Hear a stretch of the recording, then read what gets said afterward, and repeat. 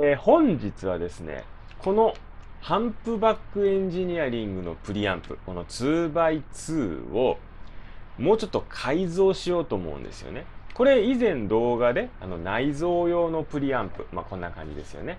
この内蔵用のプリアンプをこうやって箱に入れてアウトボード化するっていう動画を撮ったんです。まあこの方が思想とか試しやすいですからね。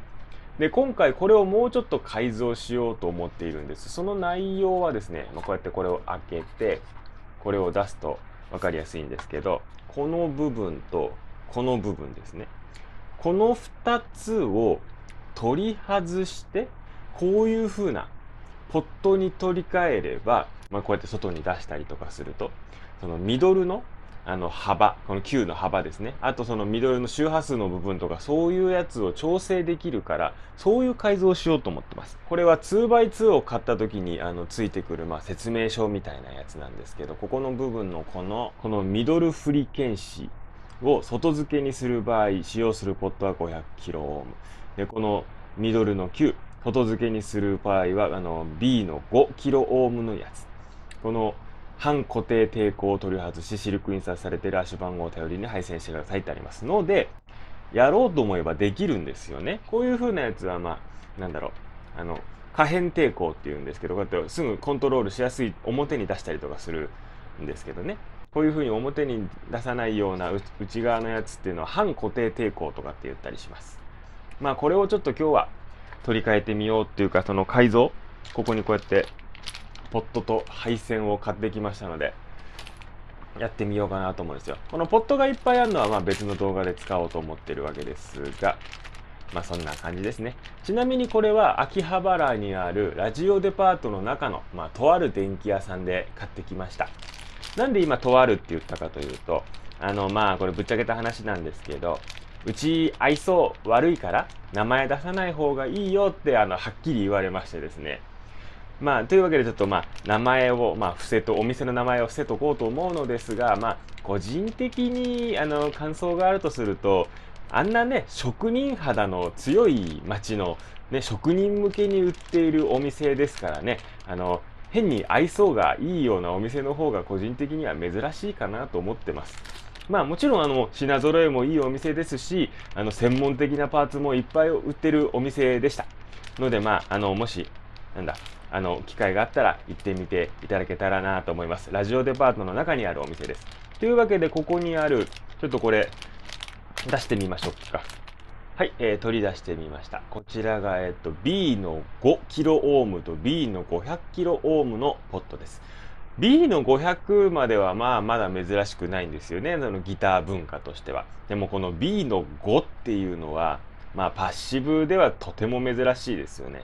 あの、簡単に売っているのかなと思っていろいろホームページ調べたらなかなかこうまあお店そのラジオデパートの中行けば全然余裕で売ってたんですけどやっぱホームページ上とかではなかなか探すのが難しいものではありましたね。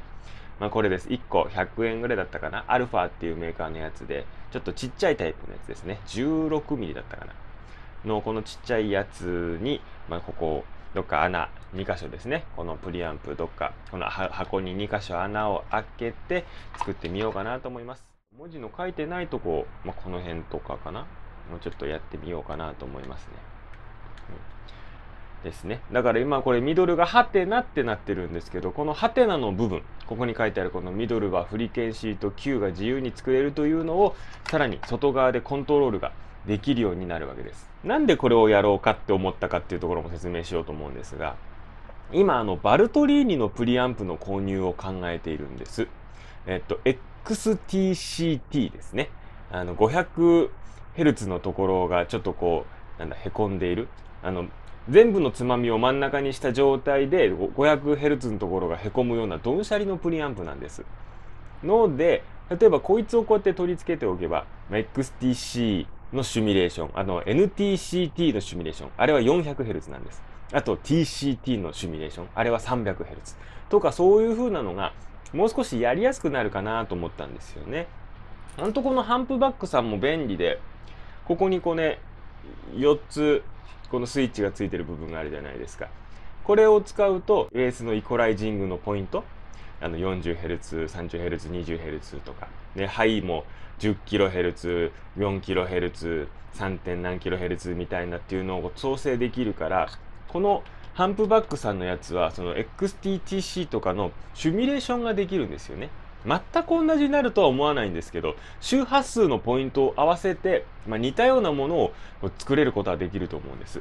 まあ、それで一回ちょっと、なんだ、自分は XTC が好きなのかとか TCT が好きなのかみたいなシミュレーションっていうのができるんじゃないかなと思ってます。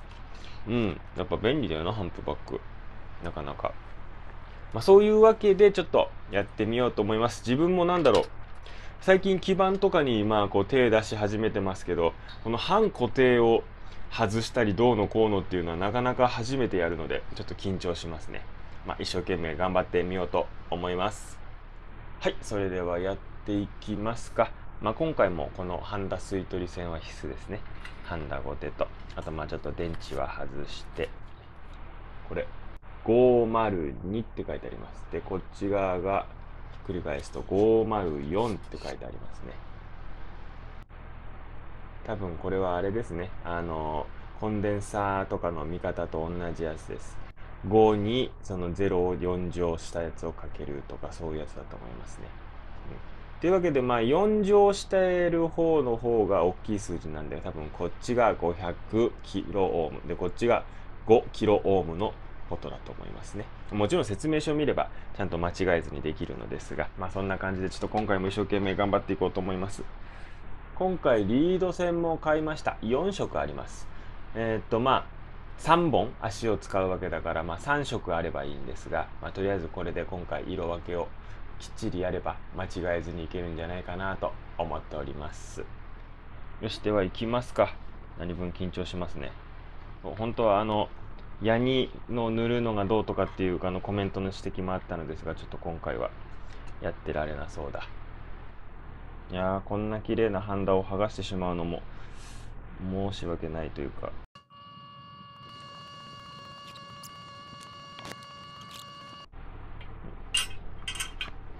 いやー、なかなかこれで取りか、ハンダ的には合ってるんですが、うん、取れないよ、これ。どうやったら取れんのこれって。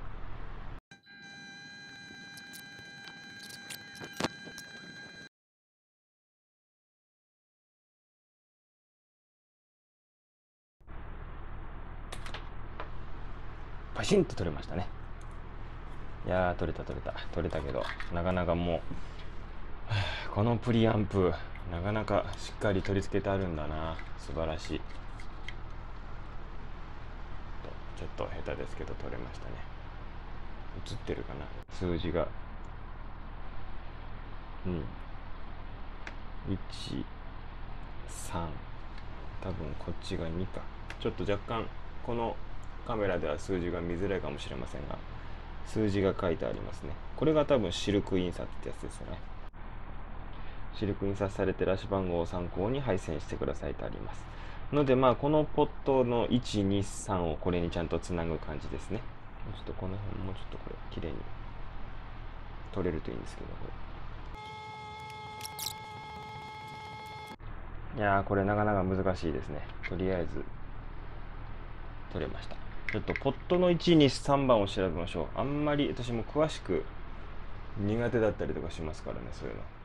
ポットの番号はこういうふうにノブを正面に見てから左から123ひっくり返すと右から123ですね。123これを間違えないようにつないでいくわけです。ではそうですね。これ何色使ってもいいんですけどね。まあ長さはこれぐらいの長さにしておきましょうかね。よし。全部で6本出しました。とりあえずこの両端をむき身にするやつを6つ作りますか。はい、えー、足6本作りましたね。じゃあこれの端っこに予備ハンダをちょっとやっていきましょう。6本とも予備ハンダもできました。ではちょっと取り付けていきましょう。こちらの B の5のやつを取り付けていきます。とりあえず足つけちゃおうか。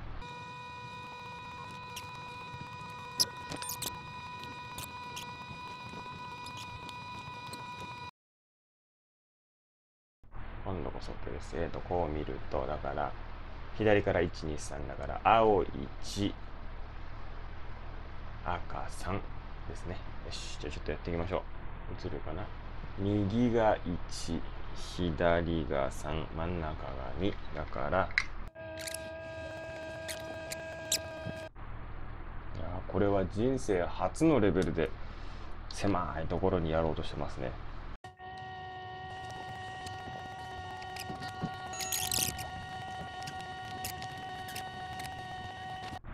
いやーこれダントツで難易度が高いな。潜り込んでもできない。えー、っと。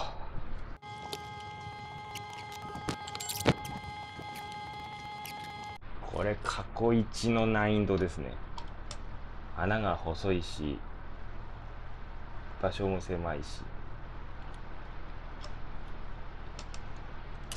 もしかしたらワイヤーが太すぎるとかもあるかもしれませんねこれはね。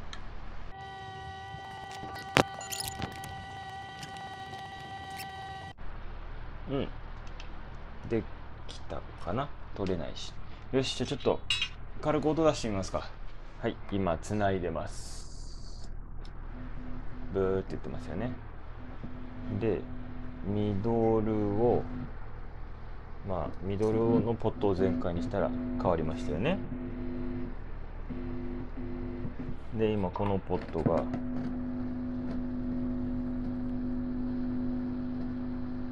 変わってんのかこれ。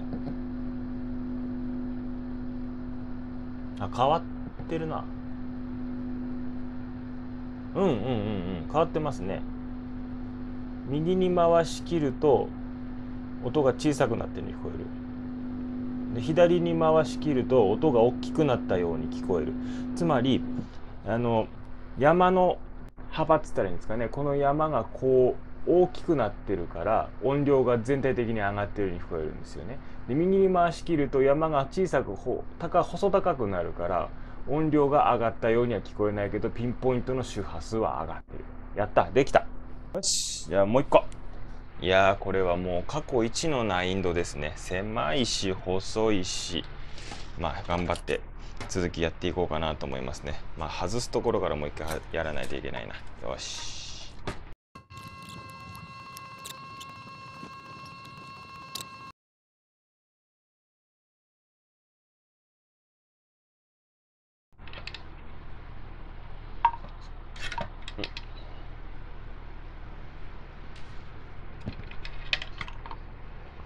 取れ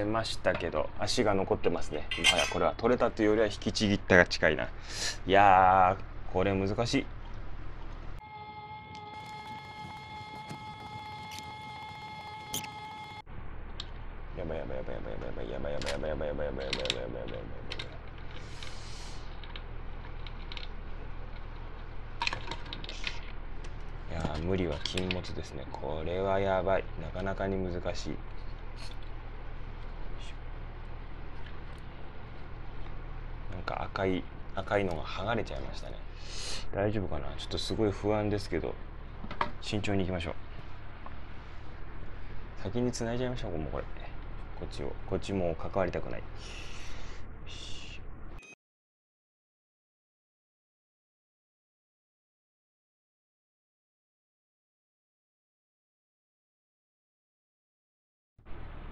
大丈夫なのかな？これ。ダメなんだろうな。あ失敗の可能性がすごい高いですね。しょうがない。やってしまったものはしょうがない。でまたこれで一つ勉強になりました。多分自分の買ったワイヤーリード線は太すぎたんでしょうね。だからどうしても中に入らない。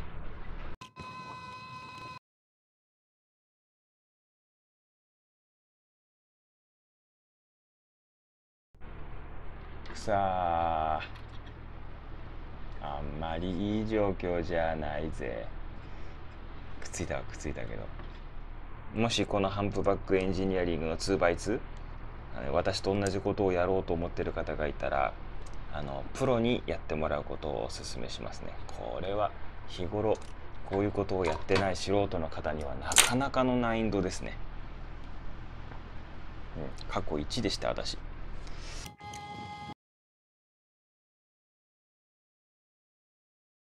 よし。いやこれは失敗かな。音が出ないなんていうオチだけがなければいいんですが、まあ、ちょっと試してみましょう。はい、えー、刺しました。基本的な音は出てますね。よかったよかった。問題のこれですね。ここを回すと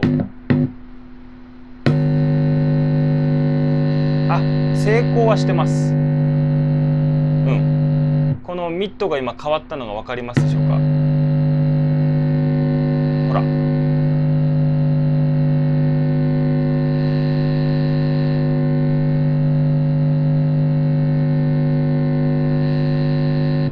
成功はしました。まあちょっとなかなかあの悲惨な見た目になってますけどね基盤が、はあ、じゃあちょっとなんとかこのまま組み立ててみましょう。いやーこれはほんと人にはおすすめできない内容ですね。なかなかでした。やっぱプリント基板って言ったらいいんですかね。あの手の基板というものは本当にデリケートなんだなって今日思いましたね。ちょっとこのまま組み立てないとって感じです。よしじゃあちょっと軽くカメラ止めてちょっと軽くやり直せるとこあったらやり直してみてでボディのどこかにちょっと穴を開けてですね。穴を開けてちょっとちゃんとこれをこうやって組み立ててみようと思います。はいではこういうふうに穴開けてきましたのでちょっとずつやっていきましょうか。まずこれを、ちょっと斜めになってますけどまあまあ OKOK よしでこっちああ取れちゃったよくそ。もうやりたくないぜこれは。あー悲しい。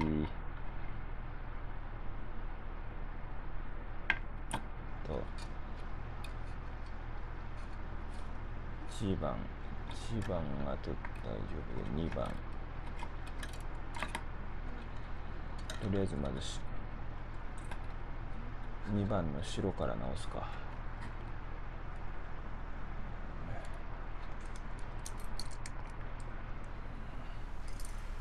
いやとりあえずできました。すんげえ疲れました。あのあといろいろトラブっちゃってそのプリントした部分基板プリントって言ったらいいんですかね。あのこうなんか外れちゃってでどうしてもうまくつながらないから30分間ぐらいもう知恵を振り絞ってやったら、まあ、とりあえず成功はしました。あのー、もう言います。これは絶対素人の方はやっちゃダメです。あのー、間違いなく失敗します。あの絶対プロの方に頼んだ方がいいか相当な練習を積んでからやるべきだと思いますね。あのもしくはちゃんともう少しこう道具って言ったらいいんですかね。を揃えてからやるべきだと思います、まあ、一応まあできたから結果だけお伝えしましょう。というわけでちょっとまあベースつないでます。でまあトレブル聴きますよね。でベースも聴きます。でミッドなんですがこのフリケンシーが効くようになったんですよ。こっちに回すと低い方からこっちに回すと高い方。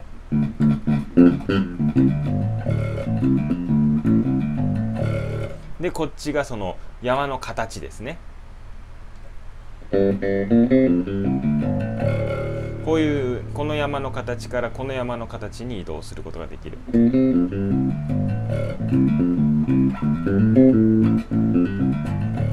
まあ正直こっちの方はまあちょっとなんだ半固定のままでもいいかもしれないですね。そんなに変えるもんでもないと思います。もう振り検視がやっぱできるようになったのは便利ですね。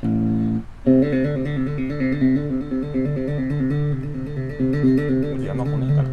山の形を大きくした方が効きはいいようですねやっぱり。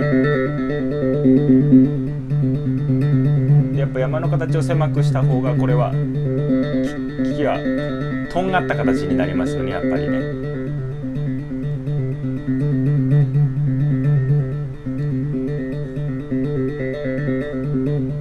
でもこれでやっと例えば500をせその辺かな？500にして500をこれぐらいの山の形ぐらいかな？にしてカットするとか。でドンシャリにすると多分あの TCT 系のなんだシミュレーション